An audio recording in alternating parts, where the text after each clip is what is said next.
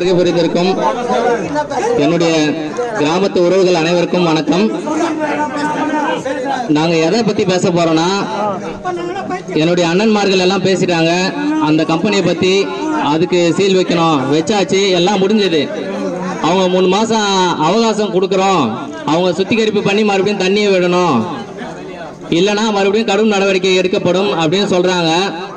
இப்போ நாங்க என்ன கேட்கறோம்னா சம்பந்தப்பட்ட தொழிற்சாலை வந்து குற்ற நடவடிக்கை மேற்கொண்டிருக்கு.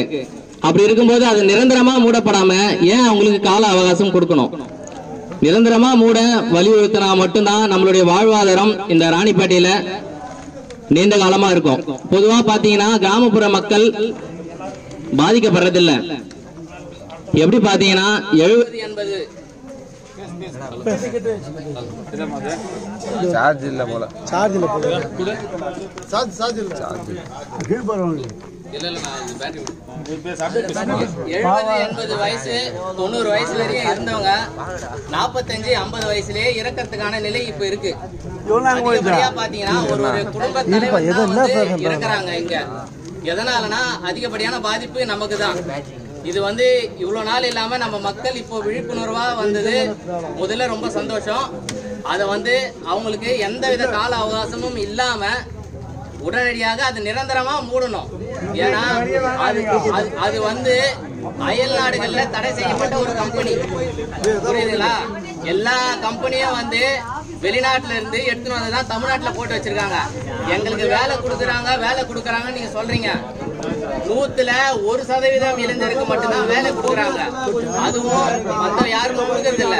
அது மட்டும் இல்லாம நிரந்தர பணியும் யாருக்குமே கொடுக்க மாட்டேங்கிறாங்க எல்லாருமே கான்ட்ராக்ட் பேசிக்கல தான் நாங்க போய் வேலை செய்யறோம் உயர் அதிகாரி பதவி எல்லாமே அவங்க அவங்க சொந்தக்காரங்களுக்கே பிரிச்சுக்கிறாங்க ஒரு ஒரு கம்பெனியும் அப்படி இருக்கும்போது நாங்க படித்த இளைஞர்கள் நாங்க எப்படி போய் அவங்களுக்கு வேலை கேட்கறது? மற்ற மாவட்டத்திலிருந்து மற்ற மாநிலத்திலிருந்து வந்து இங்க குடியேறி அவங்கவுங்க அரசு அதிகாரியாவே இப்ப ஆகுறாங்க அந்த நிலை வந்து நம்ம எல்லாம் ஒன்று திரண்டா மட்டும்தான் மாறும். எல்லா கம்பெனிக்கும் வந்து நம்ம கால அவகாசம் கொடுக்கணும்னு அவசியம் இல்லை அது வந்து ஒரு பொது- பொதுப்படியான ஒரு இடம் கிடையாது அது அவனுடைய சொந்த லாபத்துக்காக அவன் வந்து தொழிற்சாலை இங்க நடத்திட்டு அவனுடைய வருமானத்தை எடுத்து அவன் வெளிநாட்டுக்கு போய் சுகாதாரமா நல்ல வாழ்க்கை வாழறான் நம்மளுடைய வாழ்வாதாரத்தை கேட்டுறான் அதனால ஊர்ல அந்த கம்பெனியை சீல் வச்சு சீல் வச்சதாவே அது தரது எங்களுக்கு எந்த பிரயோஜனமும் இல்ல தண்ணிய எடுத்துட்டு தான் போறான் அடுத்த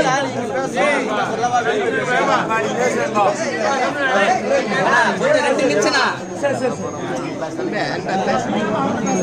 அதிகப்படியா வந்து நம்முடைய வேலூர் மாவட்டத்துல மர்ம காய்ச்சலும் கண்டறியப்படாத நோய்களும் பரவிட்டு இருக்கு திடீர் திடீர்னு இருக்கிறாங்க. எதனால இறக்குறாங்கன்னு தெரியல. என்ன ஒரு முக்கியமான காரணம் என்றால் நாம ஏற்கனவே கடந்த கிராம சபை கூட்டத்துல தீர்மானங்களை நிறைவேற்ற கோரி கேட்டோம். கொசு வந்து பதினஞ்சு நாளைக்கு ஒரு முறை அடிக்க சொல்லி கேட்டோம். இது வரைக்கும் அவங்க கொசு மருந்துன்ற மிஷினே எங்க கண்ணில் காட்டல. இருங்க, இருங்க. மாதம் இருமுறை வீதம் ஒரு தவணை பதினஞ்சு நாளுக்கு ஒரு முறை கொசு மருந்து அடிக்கணும். அவங்க கொசு மருந்து அடிக்கல. ஏற்கனவே இங்க குப்பையா இருக்கு சிப்காடு. இதுல கொசு வேற வந்து நம்ம உயிரை சாவடிக்குது. இதுல ரெண்டு பிறக்கிற குழந்தைக்கு இப்போ நீங்க பிளட் டெஸ்ட் எடுத்து பாத்தீங்கன்னா என்னென்ன மாதிரியான நோய்கள் அவனுடைய ஆயுட்காலத்துல வரும்னு நம்மளால தீர்மானமா சொல்ல முடியாது. அவனுடைய சுகாதாரம் நம்மளால நம்ம கையில நிலைப்பாட்டுல இல்ல. அவன் ஒரு சு- சுகாதாரமான வாழ்க்கை வாழ்வான். ஒரு குழந்தை அப்படின்னு நம்ம வந்து தீர்த்து தீர்மானமா சொல்ல முடியாது. அந்த மாதிரி ஒரு நிலை இருக்கு. முதல்ல நவுலாக்கு வந்து அம்மா சொன்னாங்க திறந்தவெளி மலம் கழிப்பற்ற சுகாதாரமான ஊராட்சி. மொத்த குப்பையும் நம்ம சுத்தி போட்டுன்னு உள்ள மட்டும் சுத்தமா வச்சிருந்தா அது வந்து நல்லா இருக்காது. தயவு செஞ்சு அந்த கம்பெனியை நிரந்தரமா மூடிடுங்க. அது எங்களுக்கு தேவையில்லை. இப்போ எங்க பசங்க எல்லாருமே வந்து பன்னெண்டாவது பதினொன்னாவது பிளஸ் ஒன் டிகிரி எல்லாம் படிச்சுட்டு பெரிய பெரிய ஆபீசரா ஒர்க் பண்ணல. ஸ்விக்கிலையும் ஜொமேட்டோவிலையும் தான் போய் ஒர்க் பண்றானுங்க. வெண்ணெய் ரொட்டி விற்கிறானுங்க டெய்லி டெலிவரி பாயா கொடுக்குறானுங்க. ஏன்? ஒரு பதினஞ்சாயிரம் ரூபாய் வருமானம் வர்றதுனால. அவங்க நினைச்சா அந்த கம்பெனியில இருக்கிற இங்க இருக்கிற படித்த இளைஞர்கள் தகுதி அடிப்படையில எல்லாருக்குமே வந்து நிரந்தர பணி கொடுக்க முடியும். ஆனா கொடுக்க மாட்டேன்றாங்க. பேச வேண்டாம். அதான் பேச பேசுவா பேசுவா அந்த கம்பெனி மறுபடியும் தந்தாங்கன்னா எப்பயுமே வந்து தப்பு பண்ணவன் திடீர்னு திருந்த மாட்டான். அவன் வந்து மறுபடியும் சுத்திகரிப்பு பண்ணி நான் நல்லவன் நான் தண்ணியை நல்லா விட்டுருவேன் உங்களுக்கு எந்த பாதிப்பும் இல்லைன்னு சொன்னாலும் அவனுடைய வேலையை அவன் செய்ய தான் செய்வான். எந்த வித மேல் நடவடிக்கை எடுக்காம அவன் வந்து இல்ல. இப்போ இளம் பகவத் என்ற ஒரு சாராட்சியர் ஒரு இளைஞர் நல்ல படித்த இளைஞர் அவருடைய முன்னிலையில தான் இப்போ வந்து அந்த கம்பெனி சீல் வச்சாங்க.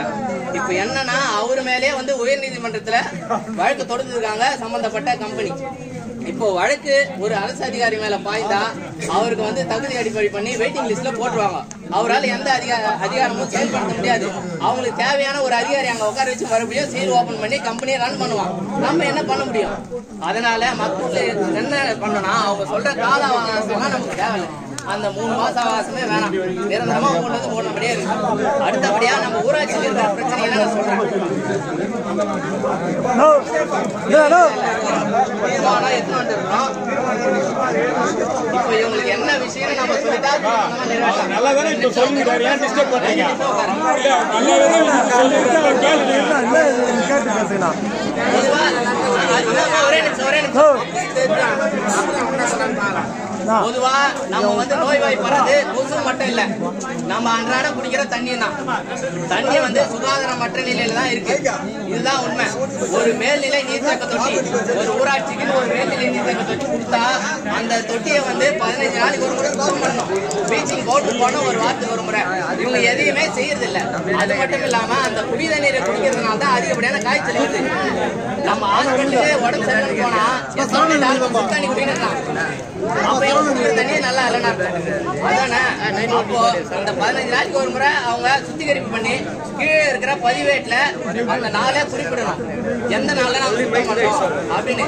அதே மாதிரி நம்மளுடைய குடிநீர் வடிகால் வாரிய ஊழியர்களுக்கு நான் ஒண்ணு சொல்லிக்க விரும்புறேன். பொதுமக்கள் தண்ணீர் பற்றாக்குறைக்காக தான் தண்ணி விடுங்கன்னு கேக்குறாங்க. தயவு செஞ்சு அவங்க கிட்ட கடுமையான சொற்கள் பேசாம என்ன சொல்ற கேளு நான் அங்கேயே பேசினேன் எப்படின்னா அது? தண்ணி இந்த மாதிரி பிரச்சனை இருக்கு. பஞ்சாயத்துல இங்க ரிப்பேர் அங்க ரிப்பேர் என்னால முடியும். நான் முடிஞ்ச உடனே எங்க வேலை சரியான உடனே தண்ணி விடுறேன். தேவைக்கு தான் கேக்குறாங்க. சும்மா கேட்கல அதனால அவங்க கிட்ட கொஞ்சம் கடுமையான சொற்களை பயன்படுத்துவதை தவிர்க்கணும். இந்த தண்ணீரை வந்து சுத்தமான முறையில சுத்திகரிப்பு பண்ணி கொடுக்கணும். அடுத்தது ஊரக இளைஞர் நலன் மற்றும் விளையாட்டு திறன் மேம்பாடு அப்படின்னு ஒண்ணு இருக்கு. அது நம்மளுடைய ஊராட்சியில இல்ல. நம்ம ஊராட்சியில பாத்தீங்கன்னா அதிகப்படியான விளையாட்டு திறன் மிக்க இளைஞர்கள் இருக்கிறாங்க. மாவட்ட வாரியாகவும் மாநில வாரியாகவும் போயிட்டு பரிசுகளை வென்றுட்டு வராங்க. அவங்கள வளர்த்து எடுக்கிறதுக்கான ஒரு எந்த ஒரு திறன் இதுவும் இங்க திட்டமும் இல்ல. அதெல்லாம் இருக்கிறேன்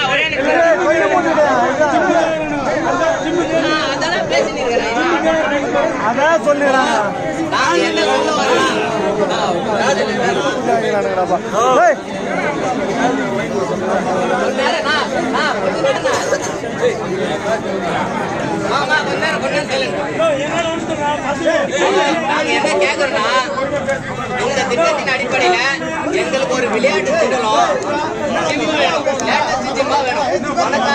பெரிய பெரிய அதிகாரியுடைய மகன்கள் எந்த அளவுக்கு ஒர்க் அவுட் பண்ணி தன்னுடைய உடற்பயிற்சியை வெளிப்படுத்துறாங்களோ அந்த அளவுக்கு அதிக திறன் கூடிய ஒரு ஜிம் எங்களுக்கு வேணும்.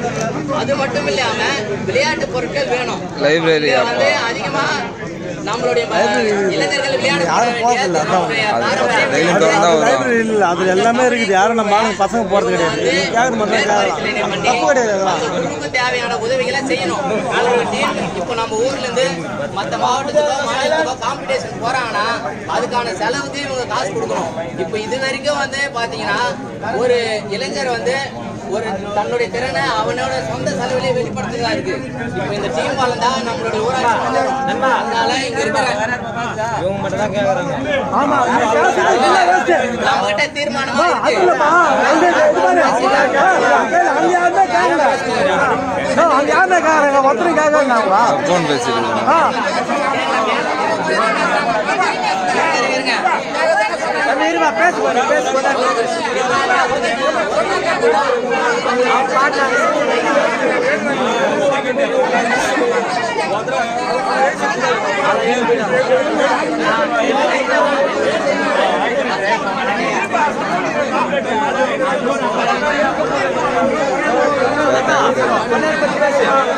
பேசுவாங்க